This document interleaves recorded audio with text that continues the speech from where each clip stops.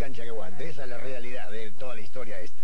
Es algo increíble, porque vos ves cantidad de chicos jovencitos que vienen a la cancha y decís, ¿de dónde salen? Porque Racing hace años que no sale campeón. Bueno, ¿cómo se explica la pasión por Racing, lo que significa para vos la academia? Es un sentimiento de mi papá, que veníamos a ver a Racing. ¿Qué quiere que te diga? ¿Hace falta algo más? No nos vamos, no, no, no somos amargos, no nos tiran azúcar. Y cuando salimos campeones, no salimos campeones hace 33 años, y acá estamos, y acá estamos y vamos a estar siempre. ¡Vamos, ¡Vamos la academia! ¡Te amo, Racing! ¡Todos te amamos! Ahí está la academia. Impresionante lo de su gente. Aplauso, medalla y beso para los hinchas que están ilusionadísimos. 30.000 almas en el cilindro de Avellaneda para ver a esta academia de Gustavo Costas y de Maggio en acción. La foto que nunca sale. Ahí está el árbitro Cristian Villarreal que le dice... Cambio de lado, se venía el capitán Cuatrochi, el equipo de Pancho Ferraro, un gran técnico, que ayer no pudo sacar un buen resultado. Se viene la primera, se escapaba muy pero muy bien Romagnoli, la hace perfecta en el centro a buscar a un compañero, a Goglia, y la saca sobre la línea. Héctor Vanegas. Las primeras oportunidades, cuando Muchísimo a la academia, fueron los mejores momentos del equipo visitante. La academia estaba perdida en el campo de juego, esto fue más o menos durante 20 minutos, donde Yaqué, Farías, Agoglia, Zapata y Catán constantemente complicaban al equipo de Racing. Jugadón del pibe Esteves y la pelota que se va muy pero muy cerca del arco defendido por Andersen. Muy parecido al Chelo en sus gambetas, en su juego. Y Racing que se viene. Miren esto, en un lateral la pelota que le cae a Chatruc después de un error defensivo y Andersen en dos tiempos termina conteniendo. Empezaba a dar vuelta a la historia, Ratalino, cada vez más parecido a nuestro compañero Andrés Repeto, un hincha platense de siempre, un hincha de estudiantes. Hablamos del amigo de Sergio Chiarito, hombre del boxeo Osvaldo Príncipe. Una más, en este caso con la cabeza de Asconzábal y se venía Racing, se venía y llegaba la oportunidad necesaria. Esteves que la hace muy bien, se amaca en el área, le cae la pelota justita, justa al uruguayo Canovio que lo grita de esta manera para la alegría desenfrenada de la gente de Racing así, uno arriba de otro, para festejarlo con mucha, pero mucha alegría. Y allí estaba la gente de Racing empezando a sobrar un triunfo. El uno tiene que ver con el cumpleaños de su hija, la más chiquita, dedicado especialmente por este uruguayo de ley, se daba el gusto de darle la victoria parcial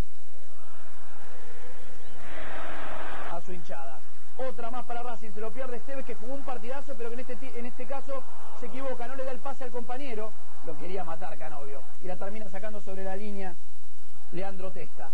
La última, otra vez el cabezazo, un repetitivo sistema para estudiantes, pero que le da resultado. La cabeza de Asconzábal que se termina yendo afuera. Se iba el Tete Quirós con un tirón, una molestia, entraba el pibe Bastía y esta falta. Termina siendo bien expulsado Canovio por el árbitro Cristian Villarreal. Costas no lo puede creer, se queda con 10 Racing, se va llorando, ¿eh? Esto es sentir la camiseta. Así se fue y así, siete minutos después se encuentra el gol Racing. Pelota de un lateral, se escapa otra vez como durante toda la noche Esteves. La hace bárbaro y define al gol. Maximiliano Esteves para que Cubito Cáceres se vuelva loco. Para el grito de gloria de él y de sus compañeros. El abrazo interminable con Liendo con Lux, con Chatruc, con Zanetti, Úbeda, Falaschi, todos Bastilla, todos abrazar al autor del gol, que después se queda remoloneando y por supuesto festejando como corresponde en estos casos. Gran acción, gran definición de derecha para poner las cosas 2 a 0. Y después las últimas de parte del pincha rata que terminaron siendo bien controladas por Cáceres. Ya estaba con 10 Racing, reiteramos.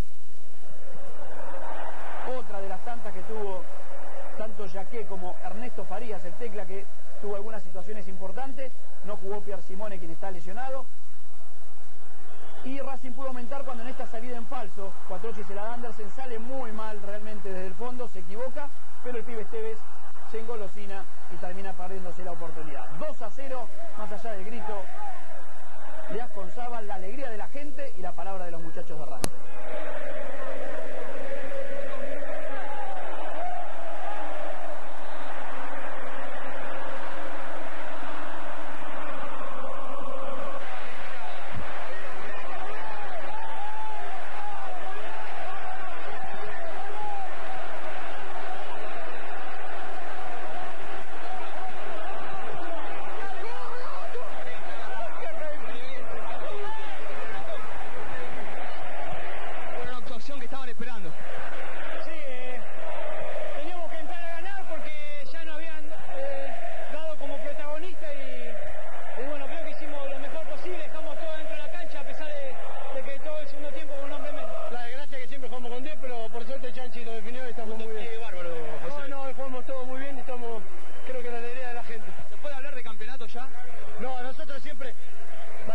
época del año pasado, pero nosotros, la verdad que la meta que nos fijamos es sacar la mayor cantidad de puntos. Vamos, van nueve, estamos bien, vinimos muy, muy de a poco y seguimos formándonos. Eh, eh, es un grupo muy nuevo, es, hay que esperar mucho para, para decir, este grupo está para campeón.